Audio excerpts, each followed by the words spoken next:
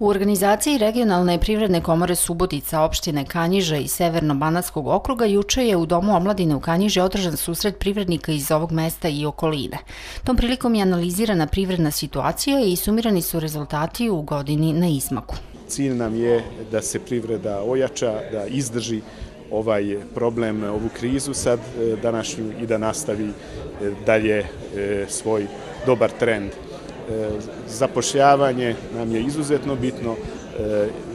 imamo više od 2000 nezaposlenih u Kanjiži. E, to nije mala brojka i želimo svakako ovo smanjiti, a to možemo e, da uradimo zajedno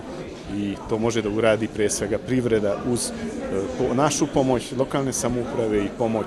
naše države. Sastanku će pristovati i načelnici svih inspekcija koje deluju na ovoj teritoriji, upravo u nameri i želji da u neposrednom kontaktu sa privrednicima i predstavnicima lokalne samuprave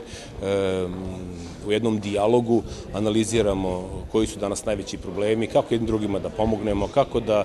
učestvujemo zajednički u praćenju instaliranja jednog novog privrednog ambijenta, jednog novog ekonomskog sistema, pošto smo svedoci stalnih izmena zakona, propisa, neophodnosti prilagođavanja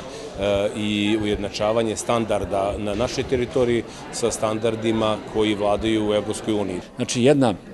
zaista komotna priča u sigurnosti izvora, izvora sagledavanja pravaca koji pomažu i nama za pripremu programa rada za iduću godinu, da bi zaista ono, ono što je